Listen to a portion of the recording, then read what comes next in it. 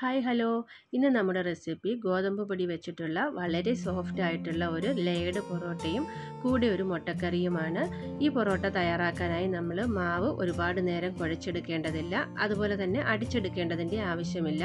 വളരെ സിമ്പിളായിട്ടുള്ള ഒരു ടെക്നിക്ക് ഉപയോഗിച്ചാണ് നമ്മൾ ഇത്ര സോഫ്റ്റ് ആയിട്ടുള്ള പൊറോട്ട തയ്യാറാക്കിയെടുക്കുന്നത്. അപ്പോൾ നമുക്ക് വീഡിയോയിലേക്ക് പോകാം.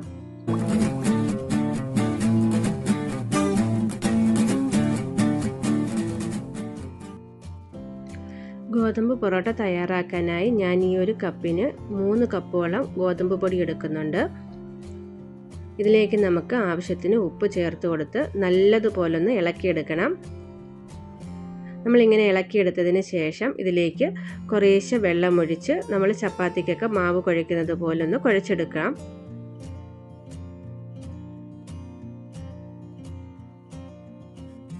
ചപ്പാത്തിക്കൊക്കെ മാവ് കുഴയ്ക്കുന്നതിലും കുറച്ചും കൂടെ ഒന്ന് ലൂസായിട്ട് വേണം നമ്മൾ ഈ മാവ് കുഴച്ചെടുക്കാനായിട്ട്. ഒരുപാട് നേരമൊന്നും നമുക്ക് കുഴച്ചെടുക്കേണ്ടതില്ല. ഇപ്പം ഞാനിത് നല്ലതുപോലെ കുഴച്ചെടുത്തിട്ടുണ്ട്.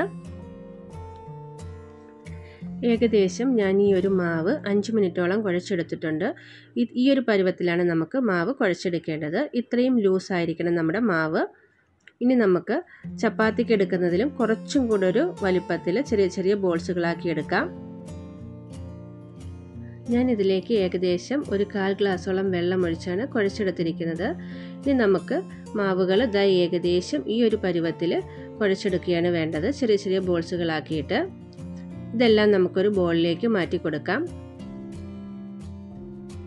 ഇനി നമ്മൾ ചെയ്യുന്നത് നമുക്ക് പെട്ടെന്ന് നമ്മുടെ പൊറോട്ട റെഡിയാക്കി കിട്ടാനും അതുപോലെ നമ്മളെ നമ്മൾ അടിക്കാണ്ട് ഒരുപാട് നേരം കുഴയ്ക്കാണ്ടൊക്കെ സോഫ്റ്റായി കിട്ടാനായിട്ട് ഏകദേശം ഒരു കപ്പോളം എണ്ണ നമുക്ക് ഈ മാവിൽ ഈ ഒരു ബോൾസിലേക്ക് ഒഴിച്ചു കൊടുക്കാം. നമ്മളെടുത്ത ബോൾസുകളെല്ലാം നല്ലതുപോലെ എണ്ണയിലൊന്ന് ഡിപ്പായി കിടക്കണം. ഈ ഒരു എണ്ണ മാത്രമാണ് നമ്മൾ പൊറോട്ട തയ്യാറാക്കാനായിട്ട് എടുക്കുന്നത്. ഇത് നമുക്കൊന്ന് അടച്ചു വെച്ച് ഒരു മണിക്കൂർ നേരത്തേക്ക് റെസ്റ്റ് ചെയ്യാനായിട്ട് വെക്കാം.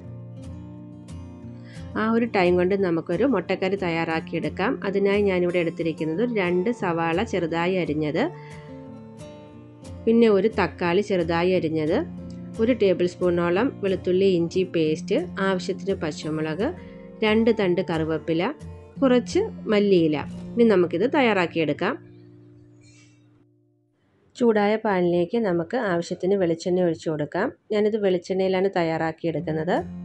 ഇനി നമുക്കിതിലേക്ക് ഏകദേശം ഒരു കാൽ ടേബിൾ സ്പൂണോളം കടുക് ഒരു ടേബിൾ സ്പൂണോളം പെരിഞ്ചീരകം ഇത് രണ്ടും നല്ലതുപോലെ ഒന്ന് മൂപ്പിച്ചെടുക്കണം. കടുകൊക്കെ പൊട്ടി വന്നിട്ടുണ്ട്. ഇനി നമുക്കതിലേക്ക് കട്ട് ചെയ്ത് വെച്ചിരുന്ന സവാള ചേർത്ത് കൊടുക്കാം. നമ്മൾ സവാള ചേർത്ത് അതിന്റെ കൂടെ തന്നെ പച്ചമുളക് കൂടി ചേർത്ത് കൊടുക്കുന്നുണ്ട്. ഇനി നമുക്കിത് നല്ലതുപോലെ ഒന്ന് വഴറ്റിയെടുക്കണം ഇത് പെട്ടെന്ന് വഴണ്ട് വരാനായിട്ട് ഞാൻ ഇതിലേക്ക് കുറച്ച് ഉപ്പ് ചേർത്ത് കൊടുക്കുന്നുണ്ട്. സവാളയൊക്കെ ചെറുതായി ഒന്ന് ട്രാൻസ്പെറന്റ് ആകുമ്പോൾ നമുക്കതിലേക്ക് എടുത്തു വെച്ചിരുന്ന കറിവേപ്പില കൂടി ഇട്ട് കൊടുക്കാം.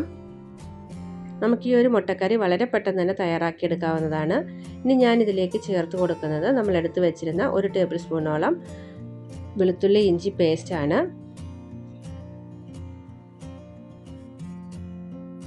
ഇനി നമുക്കിതിലേക്ക് മസാലപ്പൊടികൾ ചേർത്ത് കൊടുക്കാം. ഞാനിതിലേക്ക് ഏകദേശം കാൽ ടേബിൾ സ്പൂണോളം മഞ്ഞൾപ്പൊടി ചേർത്ത് കൊടുത്തിട്ടുണ്ട്.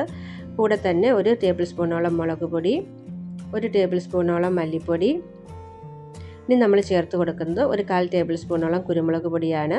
നമുക്കിതെല്ലാം നല്ലതുപോലെ ഒന്ന് വയറ്റിയെടുക്കണം. അതിന്റെ ആ പച്ച കുത്തൊക്കെ മാറി വരുമ്പം നമുക്കതിലേക്ക് കട്ട് ചെയ്ത് വെച്ചിരുന്ന തക്കാളി കൂടി ചേർത്ത് കൊടുക്കാം. തക്കാളി നല്ലതുപോലെ വെന്തുടഞ്ഞ് മസാലയുമായി ചേർന്ന് വരുന്ന ടൈമിൽ നമുക്ക് ഇതിലേക്ക് ആവശ്യത്തിന് വെള്ളം ചേർത്ത് കൊടുക്കാം. ഞാനിവിടെ പച്ചവെള്ളമാണ് ചേർത്ത് കൊടുക്കുന്നത്. നമ്മുടെ ഗ്രേവിക്ക് ആവശ്യമായ വെള്ളം ചേർത്ത് കൊടുക്കാം. ഇപ്പം നമ്മുടെ ഗ്രേവി തിളച്ച് വന്നിട്ടുണ്ട്. ഈ ഒരു ടൈമിൽ നമ്മൾ പുഴുങ്ങി വെച്ചിരുന്ന മുട്ട കൂടി ചേർത്ത് നല്ലതുപോലെ ഒന്ന് മിക്സ് ചെയ്തെടുക്കാം. ഇനി നമുക്ക് ഇതിലേക്ക് ഒരു കാൽ ടേബിൾ സ്പൂണോളം ഗരം മസാല കൂടി ചേർത്ത് കൊടുക്കാം. ഗരം മസാല ചേർത്ത് മിക്സ് ചെയ്തതിന് ശേഷം നമുക്ക് ഉപ്പ് നോക്കി ആവശ്യമെങ്കിൽ കുറച്ച് ഉപ്പ് കൂടി ചേർത്ത് കൊടുക്കാം. ഇപ്പം നമ്മുടെ മുട്ട കറി ഇവിടെ റെഡി ആയിട്ടുണ്ട്. ഞാനിവിടെ ഫ്ലെയിം ഓഫ് ചെയ്തതിന് ശേഷം കുറച്ച് മല്ലിയില കൂടി ചേർത്ത് നല്ലതുപോലെ ഒന്ന് ഗാർണിഷ് ചെയ്തെടുക്കുന്നുണ്ട്.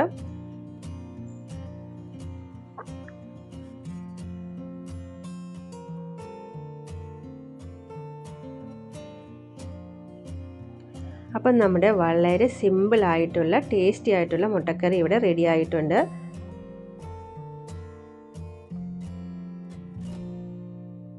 ഇപ്പം നമ്മുടെ പൊറോട്ടയുടെ മാവ് എണ്ണയിൽ വെച്ചിട്ട് ഏകദേശം ഒരു മണിക്കൂർ കഴിഞ്ഞിട്ടുണ്ട്. ഇപ്പം എണ്ണയൊക്കെ കുടിച്ച് നമ്മുടെ ബോൾസൊക്കെ നല്ല സോഫ്റ്റ് ആയിട്ട് വന്നിട്ടുണ്ട്.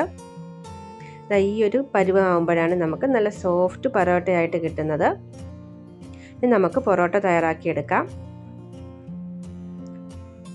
അതിനായിട്ട് ഞാൻ നമ്മുടെ കിച്ചൺ കൗണ്ടറിൽ വെച്ചാണ് ഞാനിത് പരത്തിയെടുക്കുന്നത്. വളരെ സിമ്പിളായിട്ട് തന്നെ നമുക്കിത് പരത്തിയെടുക്കാം. ഒട്ടും തന്നെ പ്രഷർ കൊടുക്കാതെ വളരെ സിമ്പിളായിട്ട് ഇതുപോലെ നമുക്ക് ഈസി ആയിട്ട് പരത്തിയെടുക്കാൻ കഴിയും. നിങ്ങളിപ്പം വീഡിയോയിൽ കാണുന്നത് പോലെ വളരെ നൈസായിട്ട് ഞാനിത് പരത്തിയെടുത്തിട്ടുണ്ട്. ഇനി നമുക്കൊരു നൈഫ് ഉപയോഗിച്ച് ഇതുപോലെ കട്ട് ചെയ്തെടുക്കാം. വളരെ സിമ്പിളായിട്ട് തന്നെ നമുക്കിത് കട്ട് ചെയ്തെടുക്കാൻ കഴിയും. കട്ട് ചെയ്തതിന് ശേഷം നമുക്ക് ഇതിന്റെ മുകളിൽ കുറച്ച് ഗോതമ്പ് പൊടി വിത വിതറിക്കൊടുക്കണം ഇതുപോലെ വേണം വിതറി കൊടുക്കാനായിട്ട്. നമ്മൾ ആ കട്ട് ചെയ്ത ആ ഒരു സ്പേസിൽ നമുക്ക് ഗോതമ്പ് പൊടി നല്ലതുപോലെ ഫില്ലാകത്തക്ക രീതിയിൽ നല്ലതുപോലെ ഒന്ന് സ്പ്രെഡ് ചെയ്തെടുക്കണം.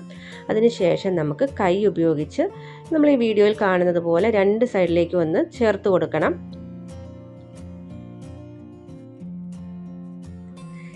ഇങ്ങനെ രണ്ട് സൈഡും ചേർത്തെടുത്തതിന് ശേഷം നമ്മൾ പൊറോട്ടയുടെ രണ്ട് എൻഡിൽ നിന്നും അകത്തേക്ക് ഫോൾഡ് ചെയ്തെടുക്കുകയാണ് ചെയ്യുന്നത്. ഈ ഒരു രീതിയിൽ നമ്മൾ ഫോൾഡ് ചെയ്തെടുക്കുകയാണെങ്കിൽ നമുക്ക് നല്ല ലെയർ ആയിട്ടുള്ള പൊറോട്ട കിട്ടും. ഇങ്ങനെ രണ്ട് സൈഡിൽ നിന്ന് നമ്മൾ ഫോൾഡ് ചെയ്ത് കൊണ്ടുവന്നിട്ട് ഒരു എൻഡ് എടുത്ത് മറ്റൊരു എൻഡിന്റെ മുകളിലേക്ക് വെച്ച് നമുക്ക് കൈ ഉപയോഗിച്ച് ജസ്റ്റ് ഒന്ന് പ്രസ് ചെയ്ത് കൊടുക്കാം. പ്രസ് ചെയ്തെടുത്ത ആ പൊറോട്ട ഞാനൊരു പ്ലേറ്റിലേക്ക് വെച്ച് ഒരു കിച്ചൺ ടബിൽ ഉപയോഗിച്ച് കവർ ചെയ്ത് വെക്കുക വെക്കുകയാണ്. അങ്ങനെ കവർ ചെയ്ത് വെക്കുമ്പോൾ നമ്മൾ എല്ലാ പൊറോട്ടയും തയ്യാറാക്കി വരുന്നത് വരെ നമ്മൾ ആദ്യം ഉണ്ടാക്കിയ പൊറോട്ട ട്രൈ ആവുകയില്ല. ഇനി നമുക്ക് ഓരോന്നായിട്ട് കിച്ചൺ കൗണ്ടറിലേക്ക് വെച്ച് നമ്മുടെ കൈ ഉപയോഗിച്ച് വളരെ സോഫ്റ്റ് ആയിട്ട് ഇതുപോലൊന്ന് പ്രസ് ചെയ്തെടുത്താൽ മാത്രം മതി. ഇപ്പം നമുക്ക് വീഡിയോയിൽ കാണുമ്പോൾ തന്നെ അറിയാം വളരെ സോഫ്റ്റ് ആയിട്ടുള്ള പൊറോട്ടയാണ് നമ്മൾ തയ്യാറാക്കിയെടുത്തിരിക്കുന്നത്. ഇതുപോലെ ഒന്ന് പരത്തിയെടുത്തതിന് ശേഷം നമുക്ക് ചൂടായിട്ടുള്ള പാനിലേക്ക് ഇട്ട് കൊടുക്കാം. ഒരു സൈഡ് ചൂടായതിന് ശേഷം നമുക്കത് തിരിച്ചിട്ട് കൊടുക്കാം. തിരിച്ചിട്ടതിന് ശേഷം നമുക്കിതിലേക്ക് ഏകദേശം ഒരു ടേബിൾ സ്പൂണോളം ഓയിൽ ഒഴിച്ചു കൊടുക്കാം. ഞാനിത് നേരത്തെ ഉപയോഗിച്ച ആ ഓയിലിന്റെ ബാക്കിയാണ് ഉപയോഗിക്കുന്നത്. ഇനി നമുക്കിതുപോലെ ഓയിൽ എല്ലായിടത്തും എത്തത്തക്ക രീതിയിലൊന്ന് സ്പ്രെഡ് ചെയ്തതിന് ശേഷം രണ്ട് ഭാഗവും തിരിച്ചിട്ട് നല്ലതുപോലെ ഒന്ന് കുക്ക് ചെയ്തെടുക്കാം. ഇപ്പം നമ്മുടെ വളരെ സോഫ്റ്റ് ആയിട്ടുള്ള പൊറോട്ട ഇവിടെ റെഡി ആയിട്ടുണ്ട്. ഒന്ന് രണ്ട് പൊറോട്ട റെഡിയാക്കിയതിന് ശേഷം നമുക്ക് ഇതുപോലെ കൈ ഉപയോഗിച്ചൊന്ന് ജസ്റ്റ് അടിച്ചു കൊടുത്താൽ മാത്രം മതി. വളരെ സോഫ്റ്റ് ആയിട്ടുള്ള ടേസ്റ്റി ആയിട്ടുള്ള പൊറോട്ട നമുക്ക് കിട്ടിയത്.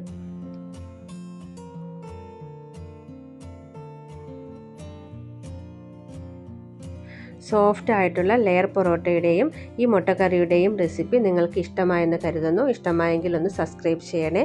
തൊട്ടടുത്ത് കാണുന്ന ബെല്ലൈക്കൻ കൂടി എനേബിൾ ചെയ്താൽ ഞാനിടുന്ന വീഡിയോസ് നിങ്ങൾക്ക് നോട്ടിഫിക്കേഷനായി കിട്ടുന്നതാണ്. അടുത്ത വീഡിയോയിൽ കാണുന്നത് വരേക്കും ടേക്ക് കെയർ ബൈ ബൈ